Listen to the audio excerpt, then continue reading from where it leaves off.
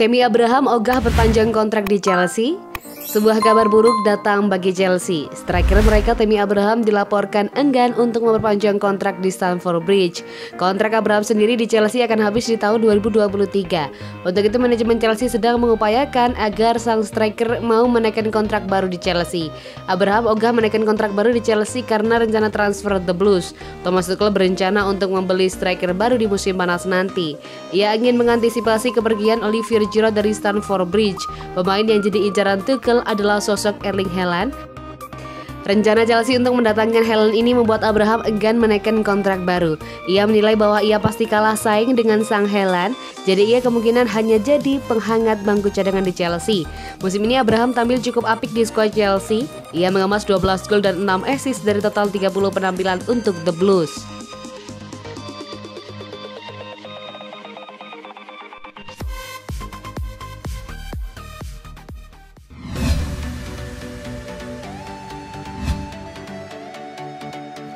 Siapkan dana fantastis Chelsea PD dapatkan Helen. Tim Premier League asal London Chelsea dilaporkan merasa percaya diri bisa memenangi perburuan Erling Braut Haaland musim depan.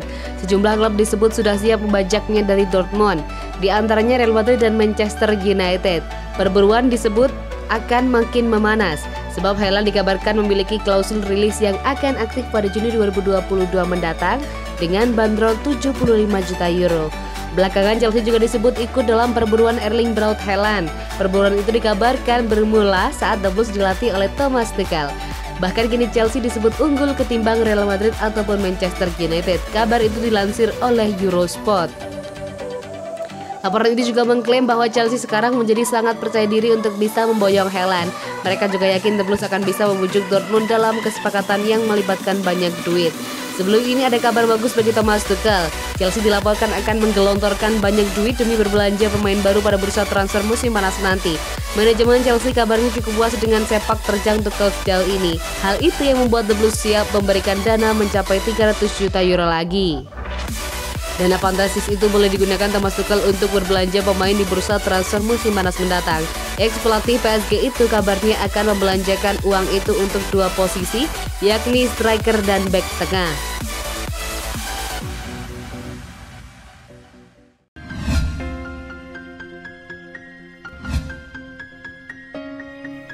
Kode-kode Chelsea naksir Kylian Mbappe Manajer Chelsea Thomas Tuchel mulai menebar kode nangsir bintang PSG Kylian Mbappe. Tuchel menyebut mantan pemainnya itu mampu menjadi pemain terbaik dunia. Tuchel juga mengakui klub mana pun pasti menginginkan pemain seperti Mbappe. Ia tahu betul karena telah meraih banyak gelar bersama Mbappe di PSG. Dia hiu dalam mentalitasnya. Dia ingin meraih semua yang dia bisa miliki. Inilah mentalitas yang Anda butuhkan dan saya bersungguh-sungguh dalam cara yang positif. Dia pria yang baik secara pribadi, sangat cerdas dan sangat lucu, tegasnya. Bape benar-benar luar biasa untuk klub dan negara dan merupakan mimpi buruk bagi para back. Ada kekhawatiran tentang masa depannya dan dia diperkirakan akan meninggalkan Paris Saint-Germain untuk memberi jalan bagi Lionel Messi masuk ke klub. Namun yang masih harus dilihat adalah klub mana yang memiliki kemampuan finansial untuk merekrut Kylian Mbappe yang dihargai 180 juta euro. Dua klub yang kini dikaitkan dengan Mbappe bukan Chelsea satu di antaranya, melainkan Liverpool dan Real Madrid.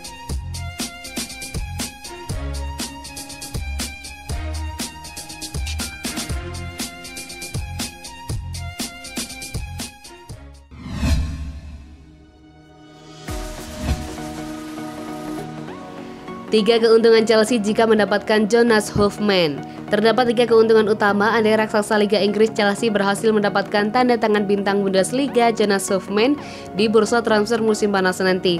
Raksasa Liga Inggris Chelsea dilaporkan akan memenuhi permintaan Thomas Tuchel yang ingin memboyong Jonas Hoffman dari Borussia Mönchengladbach di musim panas 2021 mendatang.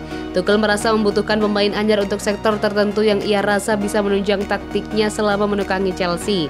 Beruntungnya, Tuchel dan Chelsea boleh berharap banyak, sebab Jonas Hoffman bukanlah pemain pemain sembarangan. Apa saja keuntungan yang akan didapat Chelsea? Versatil, kelebihan pertama yang dimiliki Jonas Suhman adalah kemampuannya dalam bermain di sejumlah posisi. Tercatat, Jonas Suhman bisa bermain di tiga posisi dengan sama baiknya. Posisi pertama adalah sayap kanan yang menjadi pos utamanya. Setelah itu, ia bisa bermain sebagai gelandang serang tengah dan sayap kiri. Mantan anak asuh dan berasal Jerman. Hoffman merupakan mantan anak asuh Tuchel ketika ex pelatih PSG itu masih berkarir di Bundesliga. Jonas Hoffman merupakan salah satu pemain berbakat Jerman kelahiran 14 Juli 1992. Ia mulai karir sepak bolanya saat bergabung dengan akademi tim FC Rot. Thomas Tuchel diyakini melihat potensi besar pada diri Jonas Hoffman. Jika demikian, tak ada lagi yang perlu diragukan oleh Chelsea untuk memboyong pemain 28 tahun itu ke Stamford Bridge. Winger berkualitas Faktor kualitas tentu menjadi yang terpenting dari Jonas Hoffman. Musim ini ia tampil gemilang bersama tim kejutan Borussia Mönchengladbach. Dari total 22 penampilannya di seluruh kompetisi, ia mampu mencetak 6 gol dan 11 assist. Perannya di lini tengah dan depan Mönchengladbach sangat krusial.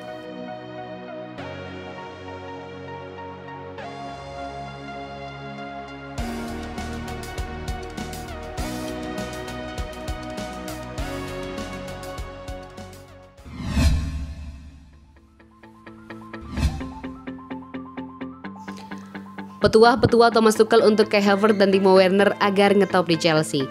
Manajer Chelsea Thomas Tuchel menyebut Timo Werner dan Kai Havertz punya masa depan cerah di klub.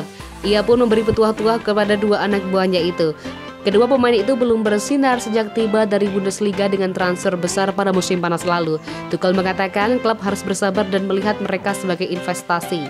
Mereka memiliki banyak potensi, pada saat yang sama klub menuntut banyak dari mereka dan saya bisa mengerti. Kata Tuchel dikutip dari Tribal Football Rabu 24 Februari 2021. Timo Werner dan Kai Havertz bergabung dengan Chelsea pada musim panas lalu. Werner tampil dalam 34 laga, mencetak 10 gol dan 9 assist.